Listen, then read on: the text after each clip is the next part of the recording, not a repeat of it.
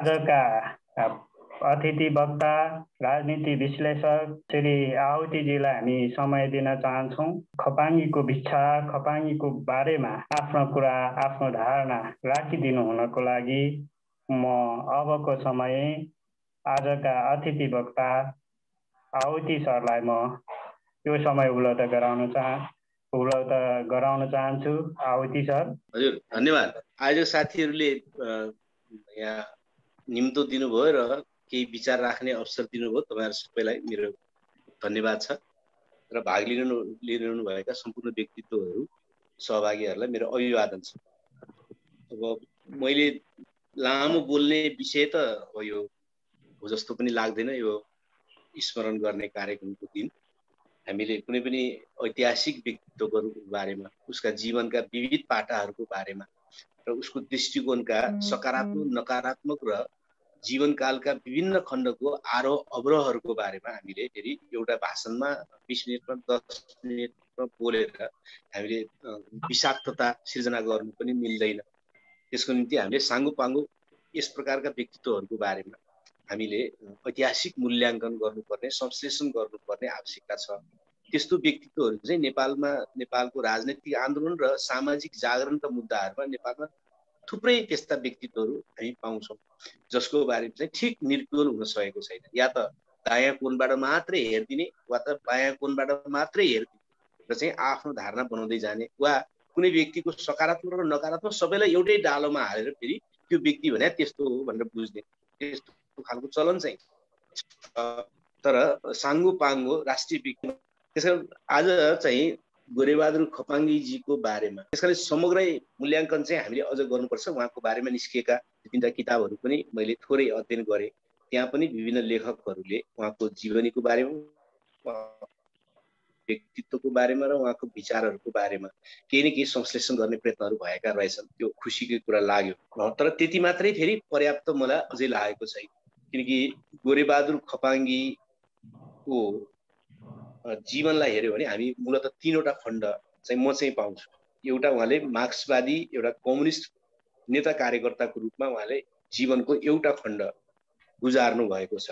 र त्यहाँबाट उहाँले नेपालको कम्युनिस्ट आन्दोलनभित्रको जात जातवाद वा जातीय विकृति मूलत जातवादै भन्न सकिन्छ त्यसलाई। जातवादलाई उहाँले कम्युनिस्ट आन्दोलनभित्र बसेर कम्युनिस्ट आन्दोलनभित्रको जातवादको अध्ययन त्यसको त्यससँग आफ्नो जीवन जोडिएको हुनाले आफ्नो रगत पसिना जोडिएको हुनाले आफ्नो वैँस जोडिएको हुनाले त्यो अनुभूति र त्यसका चाहिँ खराबी चिजहरूलाई अनुभूत गरेको र त्यसलाई एउटा संश्लेषण गर्न नयाँ संश्लेषण गर्न अगाडि बढ्न खोजेको एउटा खण्ड मार्क्सवादी हुँदाखेरिको एउटा छ।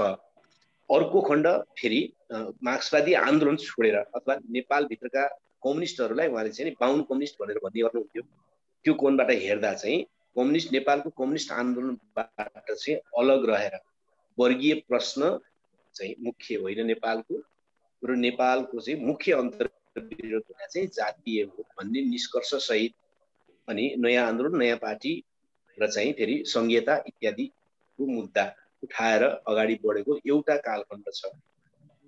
एउटा पाटो छ उहाँको बिचको भन्छ अब अर्को पाटो फेरि अर्को पाटो पनि उहाँको पछिल्लो कालको रहेको छ। जस्तो कि नेपालमा राजा ज्ञानेन्द्र इत्यादिले प्रचलित लोकतन्त्रमाथिको समस्या उत्पन्न गरेर जब उसले आफैले चाहिँ देशको सरकार चलाउने भन्ने दिन आयो जसलाई हामी धेरैले चाहिँ त्यसलाई प्रतिगमन हो भनेर भन्यौँ। र त्यसमा फेरि उहाँ चाहिँ राजाको मन्त्रीमण्डलमा चाहिँ सदस्य बन्न जाने समयदेखिको पछिल्लो काल एउटा उहाँको तेस्रो खण्ड छ। यो तिनवटा खण्डहरू चाहिँ म गोरीबहादुर पागीको जीवनमा देख्छु। र त्यो तिनटै खण्ड फेरि म जीवन्त देख्छु कुनै निष्क्रिय देख्दिनँ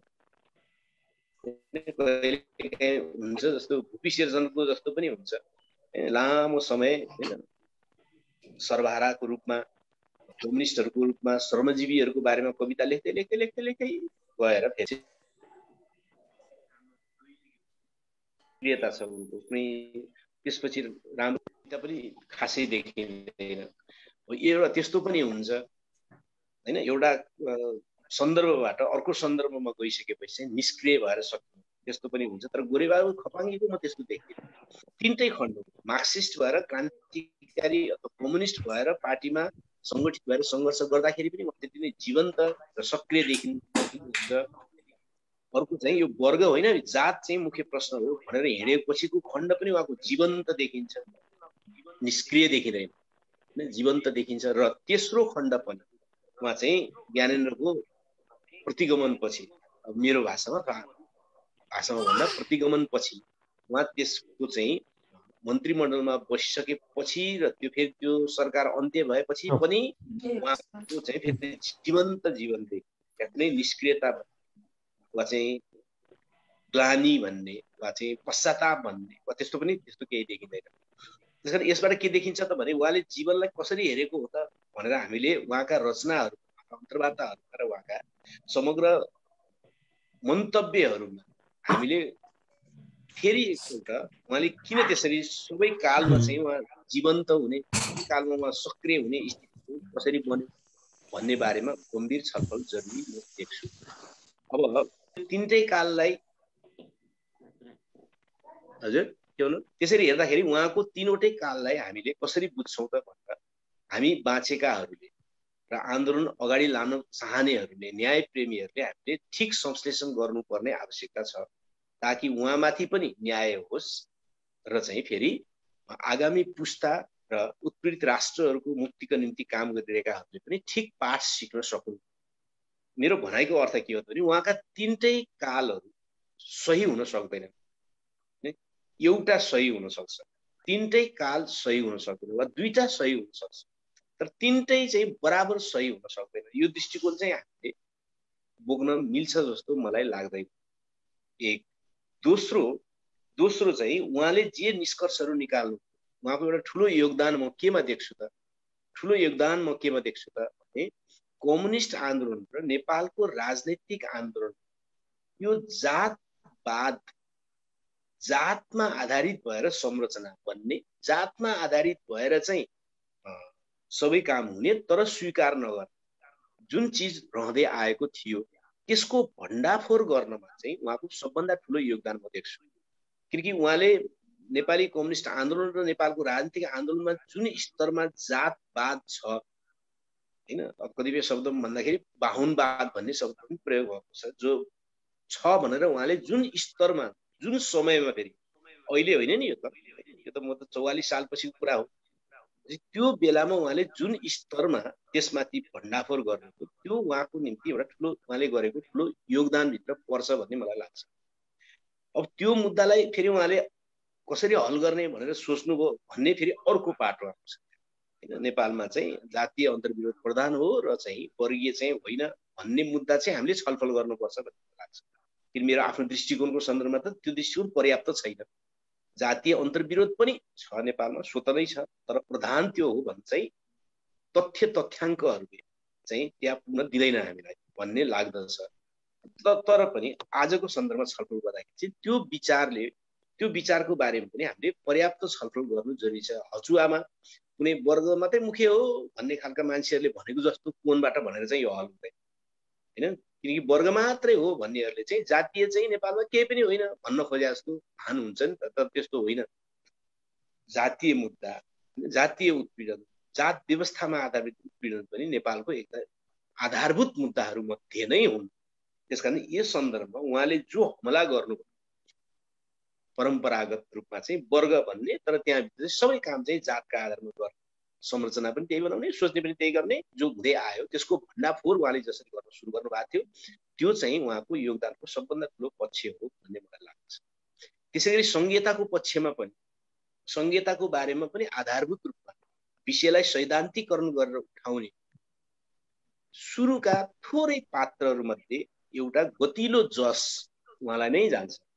होइन तराई काङ्ग्रेसदेखि नै मधेसबाट त्यो मुद्दा उठ्न खोजेको हो तर जनजाति क्षेत्रबाट चाहिँ त्यो मुद्दालाई उठाएर स्थापित गर्नका निम्ति सङ्गठित रूपमा प्रयत्न गर्ने र एउटा भाष्यको नै निर्माण गर्नका निम्ति नेरेटिभ्स नै निर्माण गर्नका निम्ति जो उहाँले प्रयत्न गर्नुभयो र उहाँसँगैका उहाँको टिमका साथीले जो प्रयत्न गर्नुभयो दोस्रो योगदान उहाँको त्यहाँनिर देख्छु यो दुईटा चाहिँ उहाँको भुल्न नसकिने र उहाँलाई जस जाने मुद्दाहरू अब नेपालमा कस्तो चलन छ त भने एउटा समयमा असाध्य राम काम गरेको मान्छे पनि अर्को समय पछिल्लो कालमा गएर केही त्रुटिहरू गर्यो केही मिस्टेकहरू हुनु पुग्यो भने अगाडिको समयमा गरेका सबै राम्रा कामहरू पनि त्यही मिस्टेक अन्तर्गत हालिदिने चलन छ। त्यो कुरा बिल्कुल गलत कुरा। त्यो तरिकाले मूल्याङ्कन वैज्ञानिक वैज्ञानिक कुरा होइन। त्यस कारण वैज्ञानिक कुरा के हो त भने एउटा मान्छेको जीवनका विविध पाटाहरू हुन्छ। त्यो पाटाहरू मध्ये उसले सकारात्मक जति गरेको छ त्यसलाई जस दिने त्यसबाट आगामी पुस्ता र सिङ्गो आन्दोलनलाई प्रशिक्षित गर्न प्रयत्न गर्ने ती चिजहरूबाट र चाहिँ जुन चिजमा त्रुटिहरू भएका छन् त्यसलाई व्यक्तिबाट भएका त्रुटिहरूका रूपमा फेरि दृढतापूर्वक त्यसलाई अस्वीकार गर्ने यो विधि नै अप्नाउनु पर्छ लाग्छ त्यो कोणबाट हेर्दा गोरेबहादुर खपाङ्गीलाई दुईवटा विषयमा चाहिँ उहाँलाई सम्झिनु पर्ने हुन्छ उहाँलाई जस जाने हुन्छ र त्यो निकै ठुलो हिम्मतको कुरा थियो। एउटा मैले भने राजनीतिक आन्दोलन र पार्टी कम्युनिस्ट पार्टीहरू मूलत कम्युनिस्ट पार्टीहरू रहेको जातवादको भण्डापोर गर्न साहस गर्नु त्यो पनि निकै कलात्मक ढङ्गले साहस गर्नु कलात्मक प्रस्तुतिका साथ साहस गर्नु र दोस्रो चाहिँ फेरि सङ्घीयताको बारेमा चाहिँ सैद्धान्तिक रूपमा चाहिँ नेपाली समाजमा त्यसलाई विषयलाई उठान गर्ने र सैद्धान्तिकृत गर्ने र त्यसको निम्ति सङ्गठन र राजनीतिक आन्दोलन पनि बनाउन प्रयत्न गर्नु। उहाँ र उहाँको टिमको त्यो यो दुईवटा कुरा चाहिँ महत्त्वपूर्ण हो। यो दुईवटा कुरालाई हामीले सम्झिनु पनि पर्छ र नयाँ पुस्तालाई भन्नु पनि पर्छ। र त्यस बाहेकका चाहिँ उहाँका थुप्रै पुनर्विचार गर्नुपर्ने हामीले के घटनाक्रमका कारणले कस्तो स्थितिमा कस्तो मनस्थितिमा चाहिँ पछिल्ला उहाँको जीवनकालमा चाहिँ घटनाहरू घटे र उहाँले पनि त्यस्ता निर्णय निर्णयहरू लिनुभयो त त्यो कति ठिक र कति बेठिक? कति ठिक भन्ने सन्दर्भमा बेठिक त प्रश्न प्रश्न देखिन्छ जस्तो कि ज्ञानेन्द्रहरूको प्रतिगमनलाई को हिस्सा बन्न जाने कुरा त बेठिक नै भएको छ भनेर हामी सबैले भन्छौँ नै भन्नै पर्ने हुन्छ। त्यस्तो स्थितिमा किन पुग्यो त मान्छे? त्यो खालको मान्छे भन्ने बारेमा पनि हामीले फेरि विनम्रतापूर्वक र व्यापक आयाम हामीले सोच्नु पर्छ र उहाँको बारेमा पनि हामीले सोध्नु पर्छ लाग्दछ। अब म अन्तिममा मेरो आफ्नो एउटा अनुभूति उहाँसँग जोडिएको अनुभूति राखेर। म सक्ने प्रयत्न गर्दछु। दुई हजार चौवालिस सालमा उत्पीडित जातीय उत्थान मञ्च भन्ने त्यति बेलाको माले पार्टीको भातृ सङ्गठन बनाउने पहिलो भेला थियो। यो चाहिँ पुलचोकको इन्जिनियरिङ क्याम्पसको डी ब्लक। त्यति बेला म त्यो पार्टीमा त थिइनँ अर्कै पार्टीमा थिएँ तर पनि दलितहरूको सङ्गठन बन्ने भनिसकेपछि मलाई पनि त्यहाँ बोलाइएको थियो। म पनि त्यहाँ गएको थिएँ। र त्यहाँ पार्टीको तर्फबाट प्रतिनिधिको रूपमा हुनसक्छ सायद किन पार्टी भूमिगत भएको हुनाले प्रतिनिधित्व भन्दैन थिए। तर पार्टीको तर्फबाट चाहिँ गोरेबहादुर खपाङ्गी त्यहाँ र उहाँले त्यहाँ भाषण गर्नु भाषण गर्दाखेरि उहाँले के भन्नुभयो भने नेपालमा भन्छन् नेवार भाषालाई चाहिँ नेवार कुरा भन्छन्। किन भने मगर कुरा राई कुरा नेपाली भाषा। यस्तो कसरी भयो भनेर उहाँले भन्नु उहाँले धेरै कुरा भन्नुभयो त्यहाँ। उहाँ नेता हुनुहुन्थ्यो। तर यो यो भनाइले चाहिँ मेरो दिमागमा चाहिँ निकै ठुलो ह्यामरले हानेको जस्तो हम्मरले हाने जस्तो। यस्तो किन भयो त यो? हो त नेवार कुरा भन्थे त्यति बेला। मगर कुरा तामाङ कुरा भन्थे। तर नेपाली चाहिँ भाषा भन्थे फेरि। यो त निकै नै फरक कुरा रहेछ भने मलाई त्यो बिन्दुबाट किन हामी पूर्णकालीन कार्यकर्ताको रूपमा कम्युनिस्ट आन्दोलनमा हिँडिसकेका मान्छे सबै नै। तर मेरो दिमागमा नेपालमा जनजाति प्रश्न अथवा उत्पीडित राष्ट्रको प्रश्न चाहिँ यति त्यो भाषण सुनिसकेपछि। र वाक्य नै मैले भनिहालेँ कि नेपाली भाषा मगर कुरा। भन्ने वाक्य नै उहाँको त्यो आइसकेको छ। त्यो वाक्यले चाहिँ मलाई चाहिँ धेरै नै ठुलो प्रभाव पर्यो भन्नुहोस् वा चाहिँ विचलित गर्यो भन्नुहोस् वा जे भन्नुहोस् त्यो पर्यो। त्यहाँ त्यो बिन्दुबाट नै म चाहिँ नेपालको उत्पीडित राष्ट्रियताहरूको बारेमा जनजातिहरूको बारेमा मधेसको बारेमा वा उत्पीडित म त उत्पीडित राष्ट्रियताहरूको बारेमा चाहिँ अध्ययन गर्नतिर मेरो दिमाग चाहिँ गम्भीर भएर मैले त्यही बिन्दुबाट नै अनि नेपालको जनजाति आन्दोलनको जनजातिहरूको बारेमा अध्ययन गर्न थालेको हो वास्तव अब त्यसले हामीलाई यहाँसम्म पुऱ्यायो मलाई चाहिँ उहाँको त्यो एउटा भाषणले निकै धेरै यो सिँगै समुदायको बारेमा अध्ययन गर्न चाहिँ प्रेरित गर्यो उद्वेलित गर्यो। र त्यसको परिणाम पनि म अहिले जति ध्यान दिन कोसिस गर्छु यी विषयहरूमा त्यसको एउटा मुख्य एउटा सूत्रधार जस्तो व्यक्तित्व चाहिँ गोरीबहादुर खपाङ्गी नै हुनुहुन्थ्यो त्यो कुरा सत्य नै हो र उहाँ निकै कम अध्ययन निकै कम धेरै कुरा अध्ययन गर्ने मान्छे मध्ये थोरै कम मान्छे मध्ये उहाँ पनि एकजना। र उहाँसँगको मेरो पछिल्लो भेटघाट चाहिँ त्यो मगर भाषामा पहिला कविता लेख्ने एकजना बुढा ब्राह्मण समुदायका मान्छे हुनुहुन्छ पूर्वको म अहिले नाम बिर्सिन्छु उहाँलाई सम्मान गर्ने कार्यक्रममा भेट भएको थियो। त्यो बेला पनि उहाँ चाहिँ हामीले लेखेका किताबहरूको बारेमा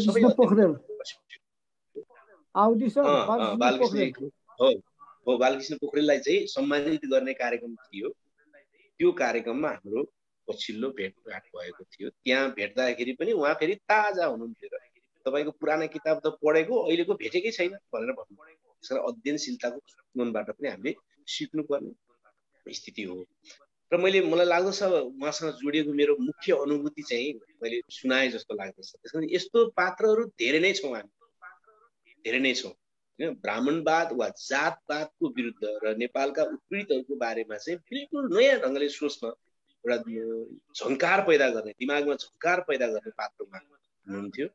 र हामीले अझै उहाँको विचार उहाँको जीवन र जीवनका विविध पाटाहरूलाई कसरी न्याय गर्ने र कसरी सिक्ने नकारात्मक कसरी सिक नकारात्मक चिजहरूलाई कसरी नयाँ पुस्तालाई भन्ने र सकारात्मक चिज नयाँ पुस्तालाई कसरी भन्ने भन्ने बारेमा अलिकति निर्मम पनि र अलिकति मायालु पनि दुइटै हुन जरुरी छ भन्ने लाग्दछ।